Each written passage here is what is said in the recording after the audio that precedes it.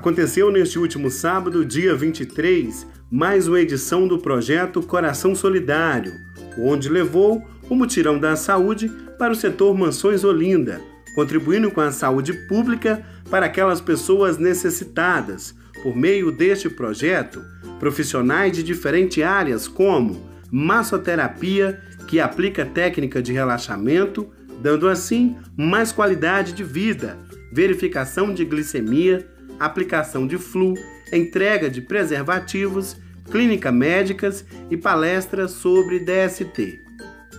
Agora eu vou conversar com a Rebeca, ela que é organizadora aqui do projeto Coração Solidário. Neste momento está acontecendo um evento.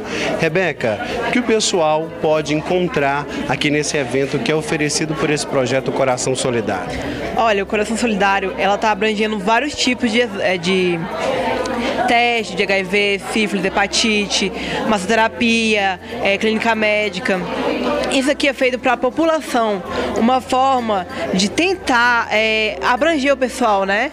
Que muitas vezes no posto não conseguem, mas é que eles vêm aqui e tem isso gratuito, só pegar na ficha, fazer e tem um, um excelente atendimento, porque os profissionais são de qualidade, são pessoas que amam fazer isso, que estão aqui porque gostam, porque tem aquele âmbito, né, de aprender também. Muitos estudantes estão aqui com a gente presente, de escolas, faculdades, entendeu?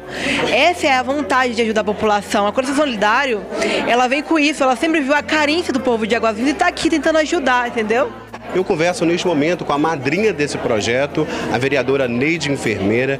Vereadora, a senhora como madrinha desse projeto, o que, que esse projeto pode representar né, e ajudar a comunidade aqui desse setor? Manuel, é, a Coração Solidário é uma instituição sem fins lucrativos, aonde nós já trabalhamos desde 2006, levando para a comunidade é, a saúde mais próximo. Nós temos consultas, né, vários, é, é, variedades de consultas, temos verificação de pressão arterial, cantinho da beleza, a massoterapia, nós temos o, o alfono, é, igual você já citou, alguns testes, glicemia, IPA. Muitas vezes é descoberto até hipertensão que o paciente não saiba.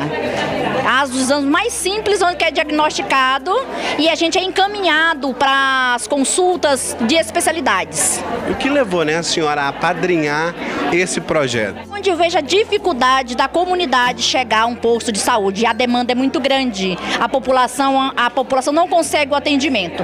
Então eu vejo a, a, a instituição, é uma instituição que tem, todos são voluntários. É, nós doamos para a comunidade um dia do nosso trabalho.